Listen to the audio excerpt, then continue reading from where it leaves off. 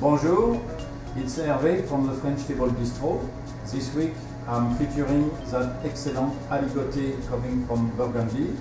Uh, it is a wine very crispy, dry, absolutely not fruity, which will be excellent for a drink called kir, and it will go very well with the linguine we serve at lunch too.